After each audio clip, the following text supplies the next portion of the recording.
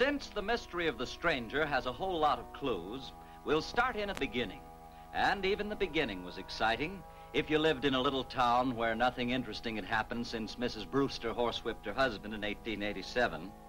Well, we were hanging around the store just about as usual that autumn when Tom Binford, the carpenter, turned from his mailbox holding up a big fat letter from the city.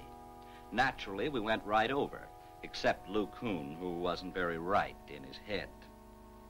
But here was the letter. Dear sir, you are to carry out these plans without making the slightest change of any kind. After you have finished the house, notify me and I will move in at once.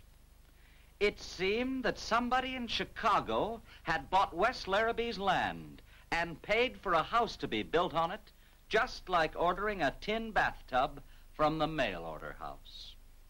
Because there was no snow before December that year, the house was finished and the man notified like it said in the letter. And at 4:10 in the morning when Benny Andrews was picking up the morning papers from the city, a little man in a black overcoat appeared on the platform carrying two big wooden boxes.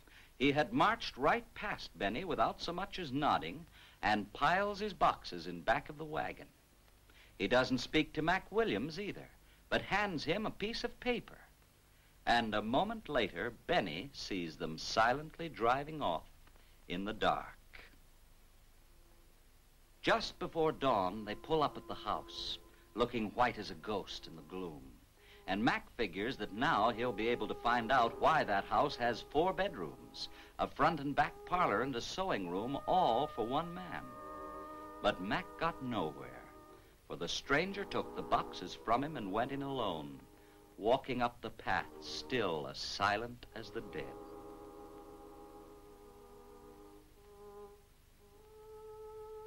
Not a thing for Mac to see but the big house looking bare and empty as ever.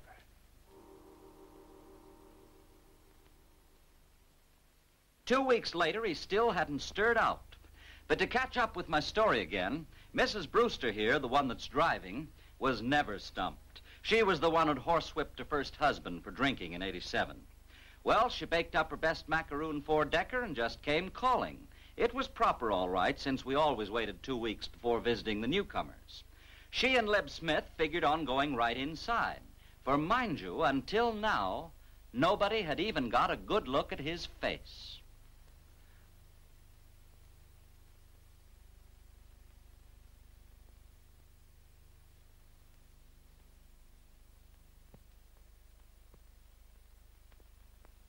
Bang! The door right in her face. Well, that was the nearest anybody got to being inside that house in 1893. Because if Mrs. Brewster was licked, so was everybody. Early that fall, though, a bombshell blew up right in the store. In from the city, intended for the stranger, came clothes for a young woman. Shoes with real French heels. Stockings and they were made of silk. A party dress for a little girl, about size eight, with fancy ruffles. A boy's sailor suit, size seven. And a whole pack of those white cotton gloves, like pallbearers wear at a funeral. Even our doctor, a fine educated man, was curious now about those gloves. They were picking into everything, goods for a whole family, and not a soul but the stranger had set a foot in that house since it was built. Suddenly.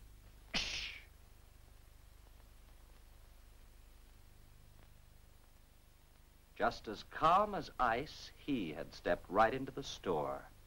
And for a long time, nobody could think of a word to say.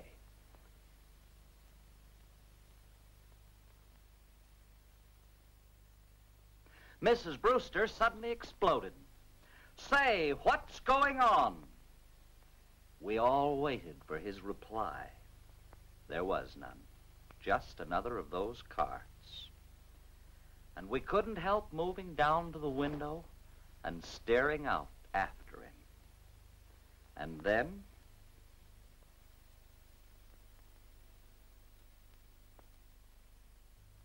all Holy jumping Jerusalem. And there for five solid years, until Christmas Eve of 1897, stood the Bridgewood Mystery, until we just about accepted it as the eighth wonder of the world. But that night, the doctor was coming home from a 10 mile sick call when, lo and behold, he was crumpled up on the stairs like a man that had fallen from paralysis or maybe a stroke. Yet when he saw Doc Peabody, he kind of lunged to his feet and went for that door. But crazy or not, he was a stricken man, and that made it the doc's business.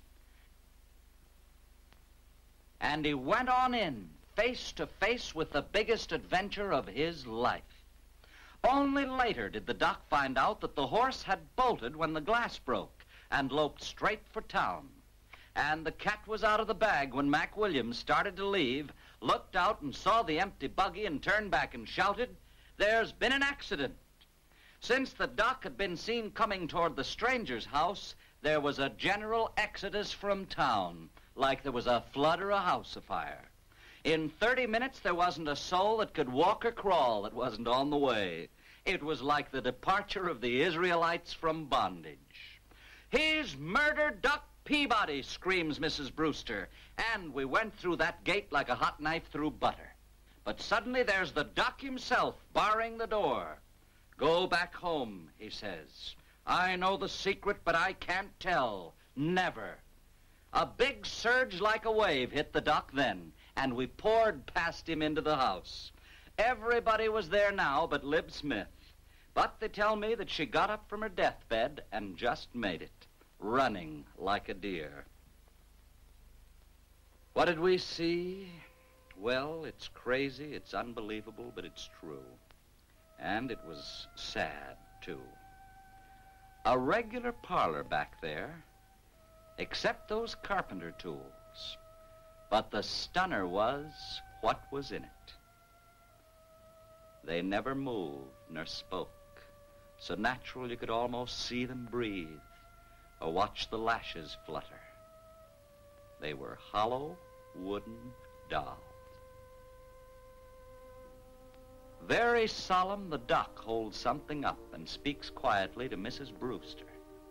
And in just one minute, the whole thing was cleared up. The stranger had showed him all about it at last. This is her, the real one, I mean, when she was alive. You remember? That's the Thompson girl that went to Chicago 20 years ago. This is them when they were married. And this is her and their children on their anniversary, the same day it happened. A fire. They were trapped upstairs and they were burned to death. He got home, he rushed in, and he was so badly burned that his hands hardly ever even looked human again. And the hot fumes in his lungs made him lose the power of speech. But his wife loved Bridgewood, you see, and she was homesick and he'd always promised that someday they'd live here. Well, he tried to keep his word. Poor, wild-minded man that had got something hurt beside his hands in that fire. He'd got that twisted soul that had made him try to rebuild what was dead and gone from him and keep it with him forever. And that's the story. He got well, all right, and until he died and we buried him on the hill as one of our own, he was the best cabinet maker this town ever had. We were glad to get the mystery off our minds, but somehow life has never been so interesting in Bridgewood since the day that letter came in from the incredible stranger.